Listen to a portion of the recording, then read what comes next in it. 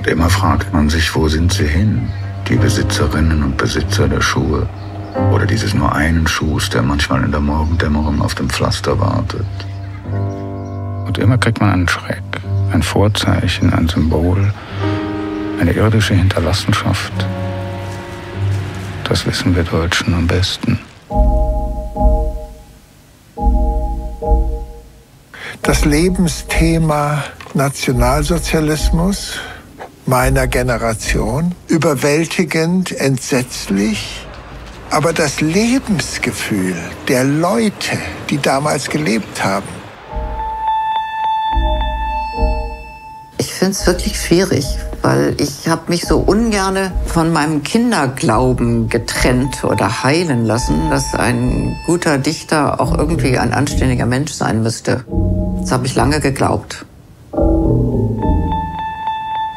Bei Ben bin ich häufig überrascht. Ich habe nie verstanden, warum diese Empathielosigkeit, warum das etwas sein soll, was einen besonders fasziniert.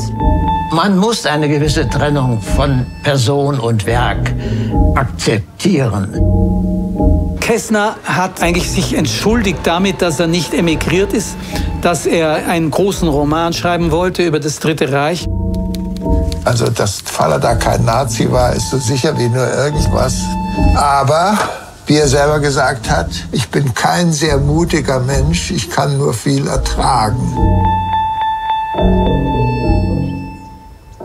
Alle Erwachsenen in meiner Kindheit hatten die Zeit durchlebt. Die Eltern, die Tanten, die Onkels, die Lehrer, die Taxifahrer. Und das ist mir immer entglitten.